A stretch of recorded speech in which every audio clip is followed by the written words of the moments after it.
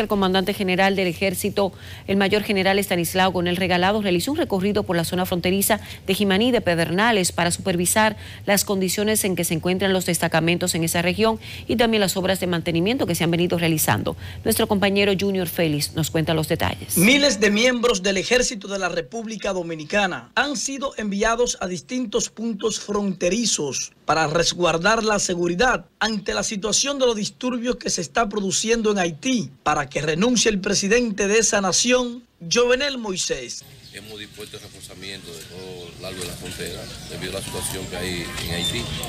Y por lo tanto estamos precisamente hoy, estábamos eh, esta mañana en provincia de Jimaní, viendo también, supervisando los, los soldados y hoy estamos aquí en Pedernales. El comandante del ejército Stanislao Gonel Regalado aseguró que la frontera dominico-haitiana está blindada ante cualquier situación de entrada masiva de haitianos a territorio dominicano. Completamente blindada. Eh, hace ya tres semanas eh, se ha hecho un reforzamiento por disposición del señor ministro eh, de los 391 kilómetros de frontera.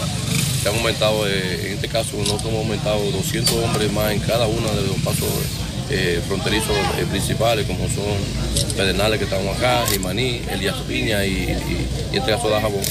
Eso significa que hay alrededor de unos 9.100 hombres en toda la frontera, contando con las tres brigadas fronterizas, que son la tercera, cuarta y quinta, que son para esos fines.